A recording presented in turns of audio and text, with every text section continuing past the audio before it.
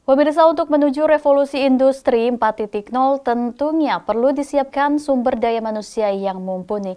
Oleh karena itu pemerintah harus mendorong masyarakat Indonesia untuk bisa berkompetisi dalam industri digital tersebut. Lantas bagaimana Indonesia dalam menyikapi tantangan ini untuk menuju industri 4.0? Berikut informasi selengkapnya.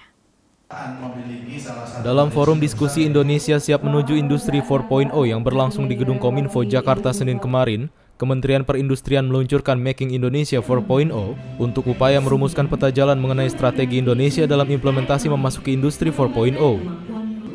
Pada acara tersebut dihadiri Menteri Perindustrian Erlangga Hartarto, Kepala Badan Ekonomi Kreatif Triawan Munaf, Dirjen Pembinaan Pelatihan dan Produktivitas Kementerian Ketenagakerjaan Bambang Satrio Lelono, dan Deputi Bidang Ekonomi Bapena Leonard Tampubolon. Dalam hal ini untuk tahap awal, pemerintah akan menggenjot vokasi atau pendidikan tinggi yang menunjang pada penguasaan keahlian terapan tertentu, guna mendukung pengembangan revolusi industri 4.0 di dalam negeri. Erlangga Hartarto selaku Menteri Perindustrian mengatakan pihaknya akan terus meningkatkan kompetensi sumber daya manusia di Indonesia untuk menjadi tenaga kerja digitalisasi. Nah, menghadapi era digital tentu tantangannya berbeda. Nah, tapi era digital ini sebagai lanjutan dari revolusi industri ketiga. Nah, revolusi industri ketiga itu sudah menggunakan robot. Jadi robotik itu bukan hari ini, tetapi revolusi industri ketiga dari tahun 90 sampai hari ini.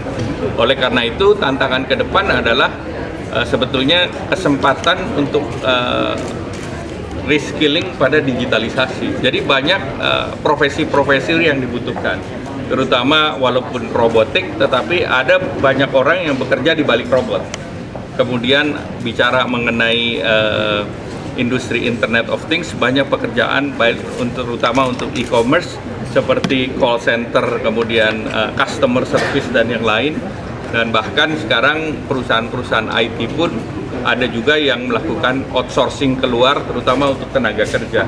Nah, oleh karena itu agar tenaga kerja dari digitalisasi ini tidak dibawa ke luar negeri atau tidak di outsource ke luar negeri, maka tentu pemerintah membuat uh, re, uh, apa, uh, kemudahan bagi tenaga-tenaga uh, ini untuk bekerja di Indonesia sehingga pekerjaan dalam era digitalisasi itu disimpan di dalam negeri, terutama untuk pengembangan software dan yang lain.